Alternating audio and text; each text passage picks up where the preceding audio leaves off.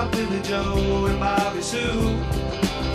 Two young lovers with nothing better to do than sit around the house, get high and watch a tube. And here's what happened